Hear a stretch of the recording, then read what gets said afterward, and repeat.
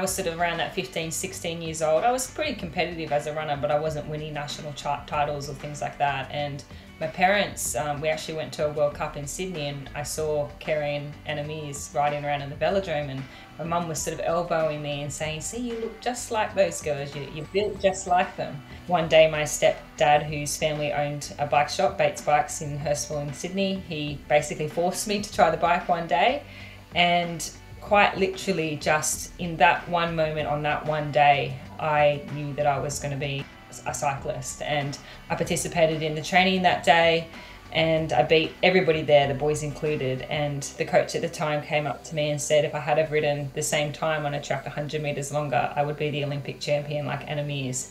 And that was it. Like from that moment onwards, I went home and I researched Meares. When I first met Anna, it was at my first Australian Championships in 2006, and I was walking out of the velodrome as um, no, I was walking into the velodrome as she was walking out and I had just won my first ever Australian Championships in the 500 meter time trial. And she said to me, "Looks like we've got our next time trial champion, you know, on, on the verge." And that was, I just was like, "Oh my god."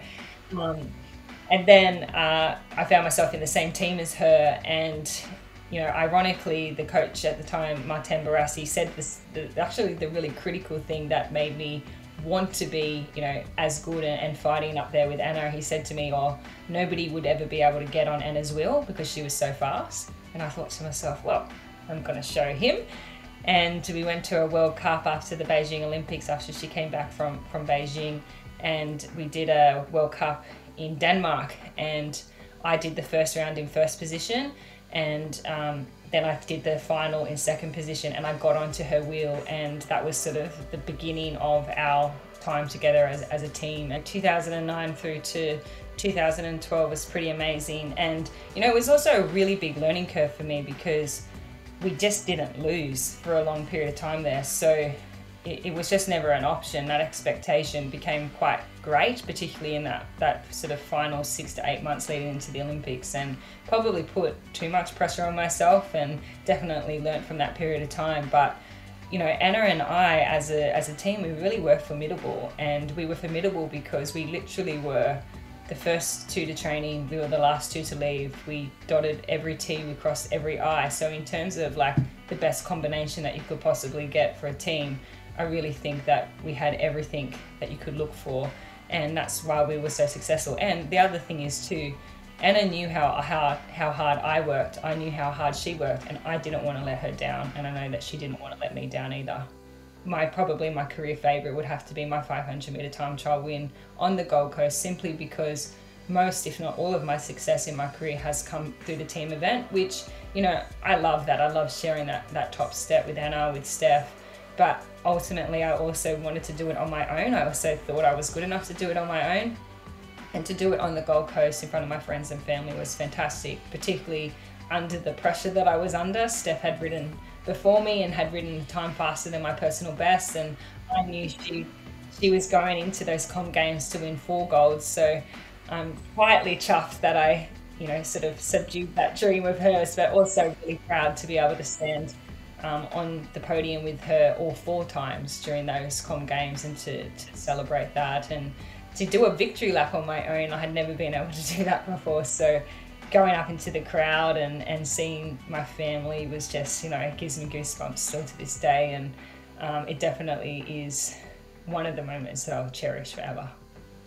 Yeah, I think the 2019 Worlds was really just, I felt like I was just gaining my, mo- my momentum. I had always been told that, you know, the peak age for a female track cyclist was at 28 to 32, and in Poland I was, I was 31. So, you know, I was really at that peak. And there to, to win the World Championship with Stephanie 10 years on, on the same track that I won my first World Championship with Anna was just a again a fairy tale moment. And as soon as I walked into that velodrome in 2019, I just thought, yeah, this is this is going to be a good week, and it really was. Like I started off with the gold, had a you know an okay sprint campaign. Then I was um, third in the 500 meter time trial, which I'd always wanted to get on the podium. I'd had a couple of fourths in my career, so to finally do that was incredible. And then to finish with the keirin Silver, you know, I remember warming up on the last day thinking, oh my gosh, how am I going to go through another, you know, day five on a world championship program when you've already been digging deep? It's it's really hard. And I, I did just found something else and I guess when I crossed the line after all of those events in 2019, I really thought to myself, wow, I think Tokyo Gold is it's really possible. Incredibly proud of myself to see Tokyo through because, um, as I mentioned, I you know, Stephanie retired. I had really quite a severe chronic back injury that I sustained um, late 2019, which really, you know, if there was anything that sort of really derailed my Tokyo campaign, it was that injury. And um, you know that was really tough. I was still dealing with pain on a daily basis leading into Tokyo. So um, I you know I forgot what it was like to not have back pain. so it's not really you know the nicest thing, and that's probably what sparked mostly my idea of retirement. My my body just started not coping with the immense amount of work we have to put in to be able to go you know this much faster every year. So um, just to get to Tokyo was an incredible achievement and the the, the result that I got, yeah, okay, it wasn't a gold medal, but I got a ninth and a 13th, and I got back to my form prior to hurting my back off some really quite limited preparation. I think that's an achievement. And what I came to learn in my career over time was that success doesn't always look like a gold medal.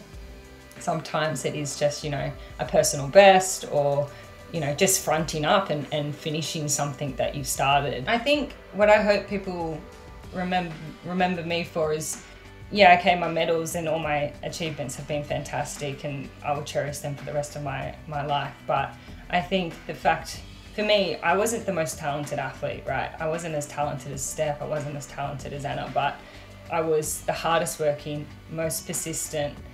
Uh, you know, you I ask you how high you want me to jump, and then I do a little bit more. So I hope that people remember me for the effort that I put in. Probably the most important people I have to thank is my family, who, you know, pressured me to start on the track bike. Uh, I thank them for that now. But they've travelled all the way around the world with me and have been there in the highest of highs and the lowest of lows. So thank you to the, to to my family, my my partner, my boyfriend Kevin, who you know, has no idea about anything about cycling, but he's also an athlete and he he knows what it takes, and so he's been very um, helpful for me, particularly in the lead into Tokyo. And then I guess lastly and finally to all the people within AusCycling who, you know, just like the athletes who have to turn up every day, the staff at AusCycling do the same thing. And I know that they also ride the highs and the lows with us. They, you know, felt our pain in Tokyo, but they also were able to celebrate with us in the Commonwealth Games. And I just want them to know that I personally just am so thankful because I know that I couldn't do what I did at the highest level for 15 years without the support of AusCycling.